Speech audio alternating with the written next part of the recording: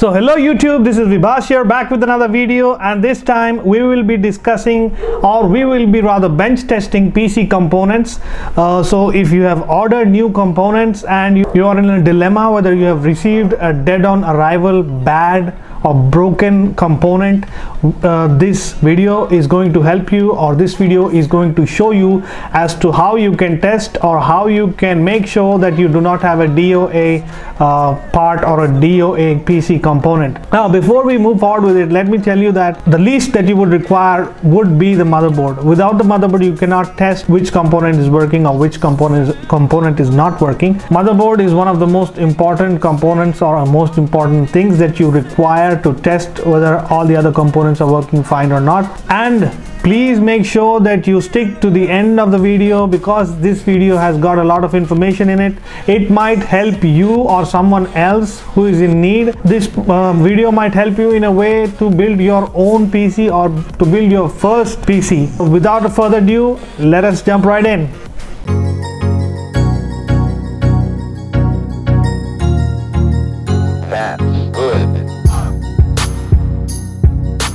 So the first thing that you need to make sure is that you do not pass any static electricity onto your components or onto your PC components. For that, you have to make sure that you plug in your power supply and before touching any component or before touching a motherboard specifically, you need to just rub your hand on the power supply so that you dissipate all the static electricity that you have uh, collected. Let me plug in the power supply and we will begin. And before we plug in the power supply, uh, there are three cables that we need. One is the 24 pin motherboard cable that will come with the PSU. This is the first cable that you will need. Now this is for bench test. We are not, you know, assembling the PC right now. We are just performing a bench test. For the bench test, you need or you require the motherboard cable. You require the 10 pin CPU cable and the PCI Express cable. You will require the motherboard cable to provide electricity to the motherboard. You will require the CPU cable to provide it to the CPU, the electricity to the CPU I mean, and to the graphics card to check whether you have a display or not. So these three things are necessary. Unbox your motherboard. You can use the box as the anti-static base. So we will place the motherboard onto the box. Now let me plug in the power supply before I go ahead and touch the motherboard. Okay, I've just plugged in the power supply. Let me turn it on right now. Turn it on and I rub my hand so that I can dissipate all the static electricity from my body into the power supply. We are safe to touch the motherboard, you can say. The motherboard is out of the box now. For the bench test, the first thing that we need is the CPU. So we will plug in the CPU or we'll, we will uh, put the CPU into the CPU socket. There is a triangle, a golden triangle over here on the CPU. You have to make sure that you match that triangle to the triangle that is present on the motherboard. If you can see, there's a teeny tiny triangle over here. You need to match this and you need to match this, this golden triangle that is available or that is present here. This will go this way in. All right, so that is in right now. And just give it a little wiggle so that you know it is uh, plugged in properly. And then close the socket. So that is how you install the CPU onto your motherboard. After you have plugged the CPU in, the first thing that you need to make sure is you install the CPU cooler. You can install the stock cooler uh, if your CPU comes with a stock cooler that is, or you can uh, install the cooler that you have uh, bought for the CPU specifically. So I'm going to install the stock cooler because it is, it is much less hassle than the Galahad. The reason why I'm installing this stock cooler is this is for bench test purpose. That is the reason why I'm installing the stock cooler. Or if it were to assemble the PC into the cabinet, I would have directly installed the Galahad, the 360 Galahad. So let us move forward with it. Now you can see over here there are four screws that will align on the four screws that are present on the motherboard one two three and four. But this socket you have to remove this socket. You have to make sure that you remove remove this socket because as you can see it does not go or it does not pair. So you have to remove this socket for this to sit or seat properly onto the processor. Now the reason why you need to install the cooler is that without the cooler, even in the BIOS, you will get an error message that CPU overheating. We will remove this socket first. Alright. Now that is removed, we will go ahead and install the CPU cooler. Make sure that it is aligned properly before you go ahead and tighten the screws.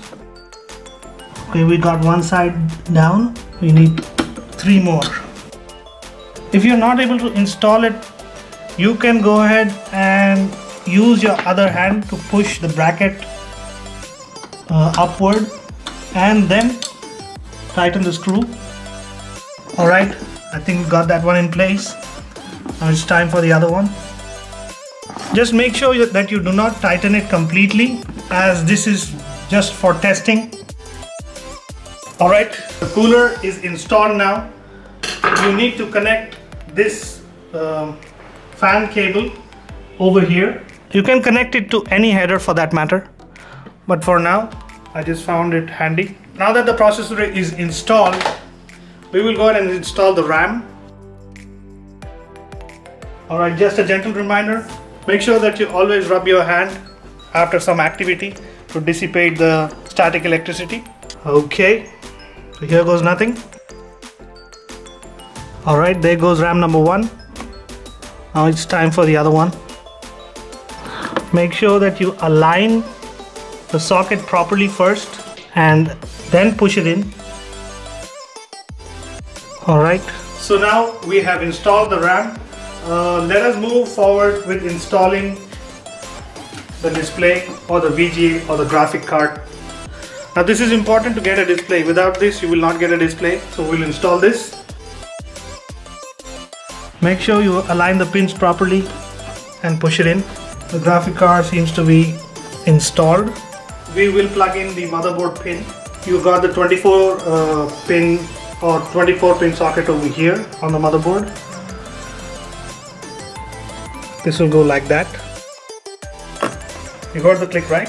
so that means you have installed it properly now for the other pin now you can see there is one motherboard two motherboard so these two pins the bigger ones will go here and the smaller one will go here. One and two. So now that is plugged in. Let us connect the CPU cable. Now remember this cable will power the CPU up. So you need to uh, plug this in. That one goes there and here. Now that everything is plugged in, we will try powering the system on and see if it goes to BIOS. And also make sure that you have a monitor handy and a keyboard as well and make sure that you have got the HDMI cable attached onto the monitor and connect it to the GPU. Alright, it is connected now. Okay, time to power on the PSU. As you can see, there is a red light which means that we have power now I'm going to jump start this one with the help of a screwdriver. I will not take responsibility whatsoever if you damage any parts while you know following this video. This is in particular with this particular motherboard and this particular configuration that I am doing. So please consult someone or please make sure that you have uh, everything in place before you go ahead with this. Now, uh, one thing I forgot is I forgot to po give power to the uh, VGA or give power to the graphics card. So let me plug that in. This particular uh, Deepcool DQ570 is a fully modular power supply. That is the reason why you have to plug in on both ends. Uh, it is not like your traditional or conventional power supplies. So the GPU is now lit white which means that it has power now. Now that we have fixed everything in place, we will try to power this on. And voila, we have power. Let us see if we get the display. Let me power the monitor on and see if we have display.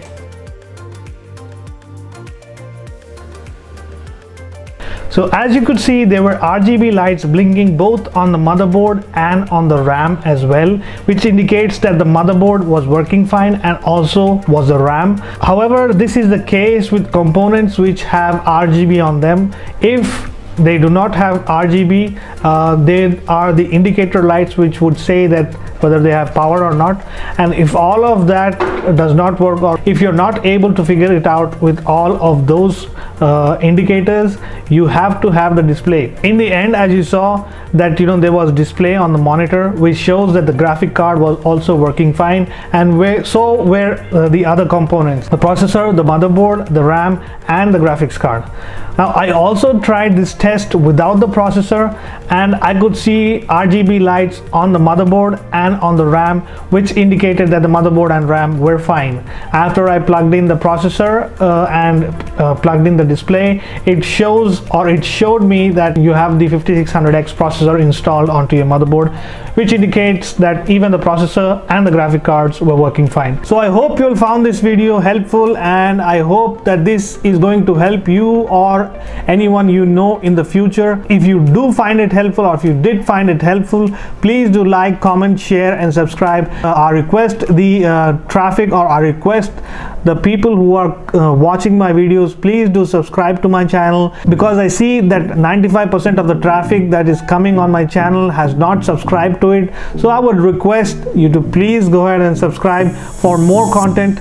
If you do subscribe uh, it gives me an enthusiasm. It gives me a, a drive to make better videos and uh, come up with better content. I hope you all will subscribe. And as always stay home stay safe stay blessed. Happy riding and see you in the next video. Ciao